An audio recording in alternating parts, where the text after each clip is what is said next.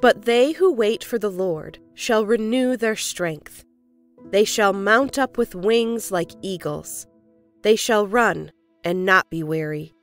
They shall walk and not faint. Isaiah chapter 40, verse 31. Almighty Father, thank you for your patience. There are times in my life that I feel that I don't make you happy. I commit sin, I turn a blind eye, and I forget to keep the commandments. Yet, despite all that, I still see your loving hands surrounding me, telling me that you will still love me despite my flaws. Help me, Lord. Help me become as loving and as patient as you are to others. Help me become more patient to life, to others, and to myself. Father, life has been testing me. It seems that life is always in a hurry, and I am burdened by just keeping up with it. At times, I forget that not everything is within my control. Teach me your ways, O Lord, that I may see life through your eyes. For now, all I see in life has been dragging me, testing my patience. Give me a humble heart. Teach me to go through life with the understanding that time flows according to your will and not mine. How can I be patient? How can I have a heart that understands that life? Father, people around me have been difficult to bear. There are times other people's choices negatively affect me.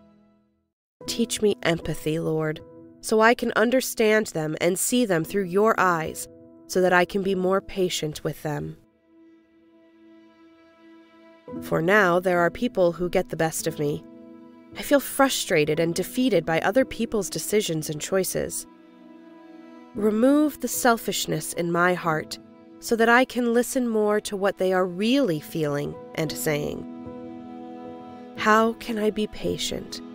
How can I have a heart that can empathize with your people? Father, sometimes I feel like I burned myself with overthinking. I tend to demand too much for solutions to my problems, not seeing the bigger picture that you have for me.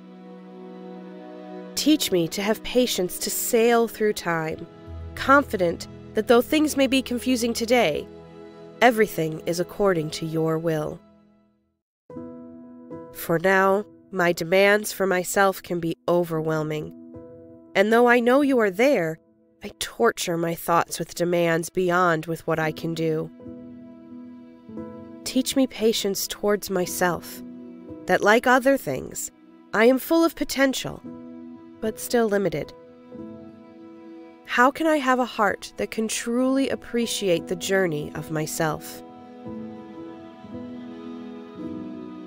Do not be anxious about anything, but in everything, by prayer and supplication, with thanksgiving, let your requests be made known to God. Philippians chapter 4, verse 6. Lord, grant me patience to wait for your response. Keep my heart still and bless me with hope. Make me your instrument so that through me your patience may be shown to others, and your love will be known to the world. Help me, Lord, so that I will become as loving and as patient as you, to others, to myself, and to life. Amen.